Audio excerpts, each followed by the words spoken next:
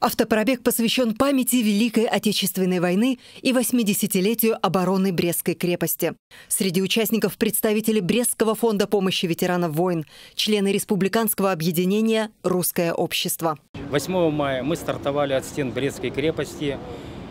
Конечная цель нашей автопробега был город Иркутск. Туда мы доставили капсулу с мест захоронения воинов Иркутской дивизии. А в озеро Байкал мы доставили воду из реки Буг. 8 мая участники стартовали от стен Брестской крепости. Брест, Минск, Борисов, Обнинск, Ржев, Владимир, Москва. Брянск – это 21 из 25 городов-участников автопробега. Это очень важно, сохранение именно истории. А год у нас получился 80-летие обороны Брестской крепости.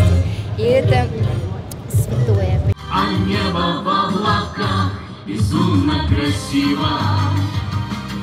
Живу с тобой, мой Брянск, святою одной. Брянск достойно принял гостей из Беларуси. Ту капсулу, которая сегодня будет передаваться, она будет храниться в нашем краеведческом музее, так как наши жители города Брянска постоянно посещают это место.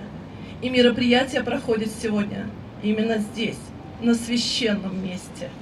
Спасибо вам за то, что вы всегда с нами. Принятием этой капсулы Брянск и Брест соединяет нынешнее и будущее поколения, вечно живущей памятью о героических предках. Из нашего региона белорусская делегация отправится в Орел. По плану это должно произойти 14 августа. Татьяна Жукова, Алексей Рязанцев. События Брянск.